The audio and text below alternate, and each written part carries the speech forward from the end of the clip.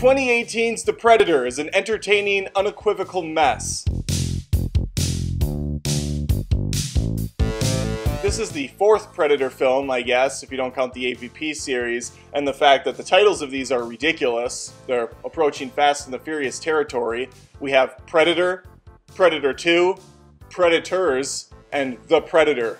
Yeah, that's not confusing at all. We come a bit full circle as this one was written and directed by Shane Black, who helped out on the first film and even had a small role. What we have, though, is a far different feel from that first film. Hell, it's a far different tone from the first three. If you're looking for scares, look somewhere else because there are none to be found here the darker, creepier vibe of the original Predator, and I guess Predators kind of, is completely gone. In its place is comedy and nonsense action. I'll be doing a movie feud between the original and this one later on, so I'm not going to do a lot of comparisons because there's a lot of differences between these two movies that would be interesting to talk about. Instead, I'm going to take this by its own merits, or lack thereof.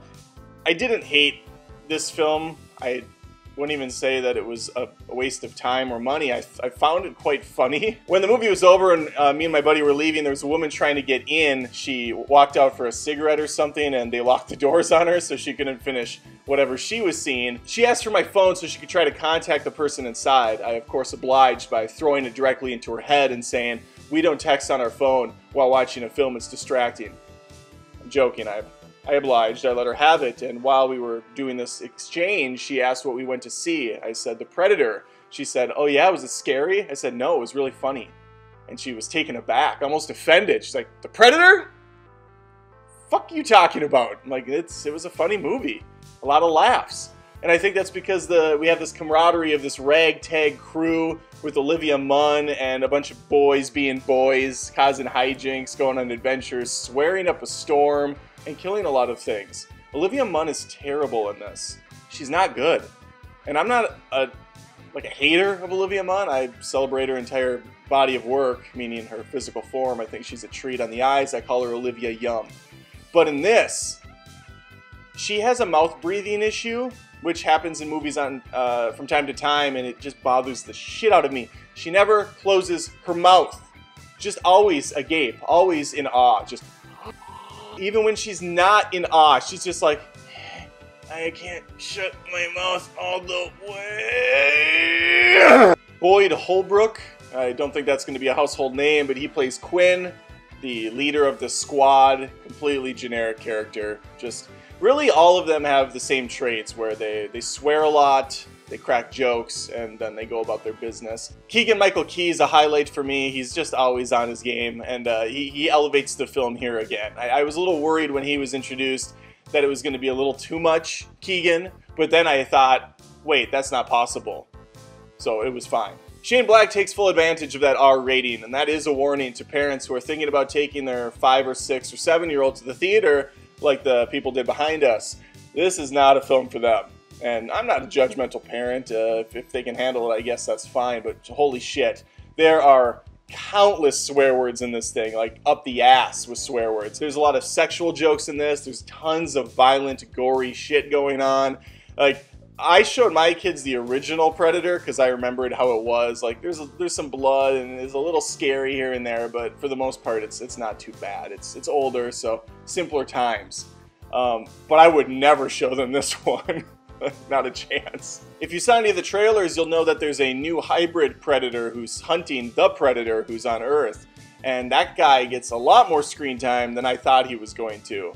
Uh, arguably too much. Not a huge fan of the juiced up Predator. He reminds me of like the new Ninja Turtles movies where, okay, the Predator was cool because he was just a little bit bigger than a human.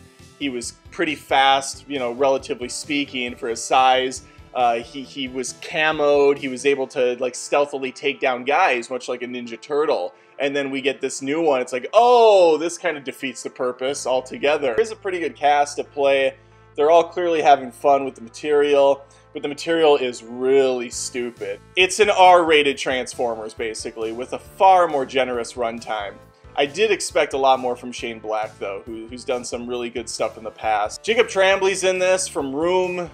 I, I, really liked him in Room. I didn't like him so much here. He plays a kid with Asperger's, which um, kind of basically gives him a superpower. I don't know enough about the Uh, is it a disability anymore? I don't know what they rank it as. It's kind of a superpower, honestly. Uh, at least in the film, it is. And they play off that quite a bit.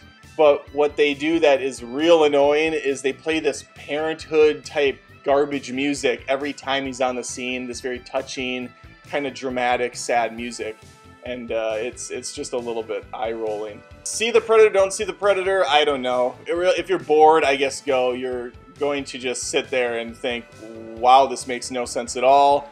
There must have been reshoots because I don't know how people are jumping from point A to point B and then back again. I really don't know about the production of this thing. It, it just it, it, reeks of reshoots or at least some script changes on the fly because none of it really adds up at all the Predator movies are pretty terrible in general. The first one being awesome, second one being awful, third one being eh, better. Some good moments in the third one actually. This one, this one was rough. I'd say it's better than two, but uh, I mean at least two had a, a storyline that you could follow. Thanks for watching me rant for a little while. If you liked the video, make sure to subscribe to Adam Does Movies. If you want to hear me complain some more, there's plenty more rants to be found to be unearthed. Just have to click on that link. I'll just stand here and wait awkwardly while you do, making you feel uncomfortable.